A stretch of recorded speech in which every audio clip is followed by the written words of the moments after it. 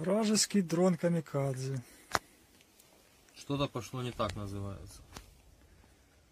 Все это дело было к нему примотано скотчем. Вот сама взрывчатка. Детонация шла от него. И в середине еще интересный факт такой. Примотано дополнительно скотчем. Вот такие вот металлические запчасти. Для того, чтобы при взрыве Поражать живую силу. поражать пехоту осколками.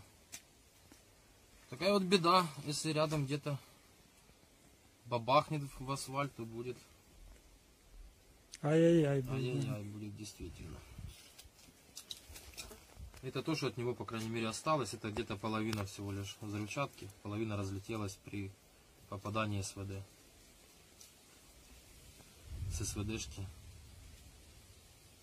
С безопасного расстояния трошки стрельнули по нему. Так что... И, кстати, характерно, э, при полете э, очень сильно шумит. Не так, как обычные дроны маленькие.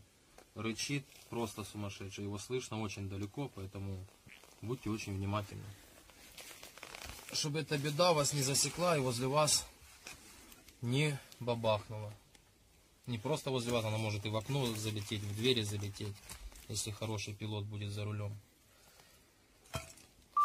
Так что вот так вот.